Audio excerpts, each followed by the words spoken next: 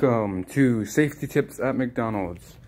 When entering a McDonald's bathroom, even if there's no one there, make sure to wear a mask because the air can be full of, you know, corona air and we don't want that. But um, washing your hands before eating is important. So you see our soap here. To get the soap, it's broken. This button up here is broken. It doesn't give you soap anymore.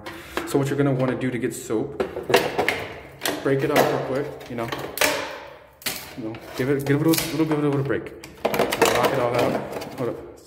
Oops, sorry guys, this one doesn't have soap. Alright, so that one didn't have, right, that one didn't have soap in it, okay?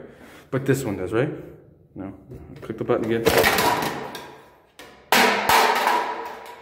Alright, so grab your soap, okay? And of course, you're gonna want to put the lid back on. So when you're done using your soap, there we go. Now, make sure to clean up everything. You don't want to, people work hard for this.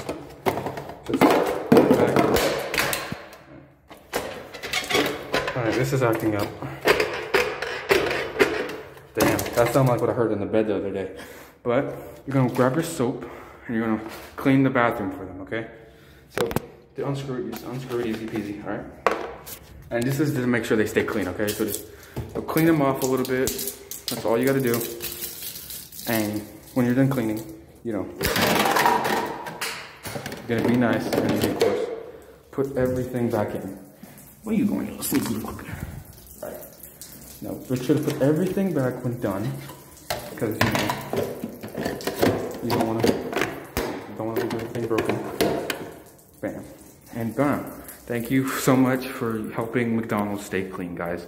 Hopefully you have a good day. Hopefully COVID ends soon. And I love all y'all. Peace.